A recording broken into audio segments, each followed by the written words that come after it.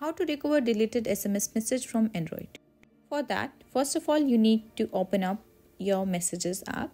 Here on the Messages app, you need to long press this particular messages that you want to delete.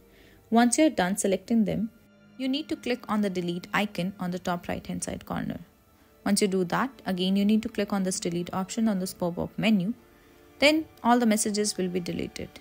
Now, how are you supposed to recover these deleted messages? For that, go to your Play Store and search for SMS Backup and Restore.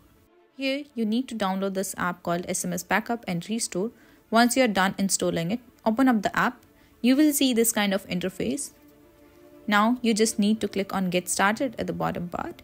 So, just follow all the steps that are being done on the screen. Then, you need to click on Set up a backup.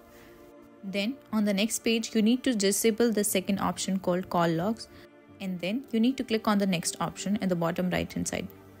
Once on the setup backup on this new interface, you need to enable the last option called your phone. After that, you just need to click on next and then you need to click on yes. After that, you need to click on daily and then you need to click on backup now. And just like that, it will start backing up your data.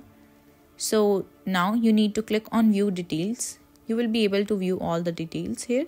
Now you can scroll down a bit and you can see all of your data is backed up here.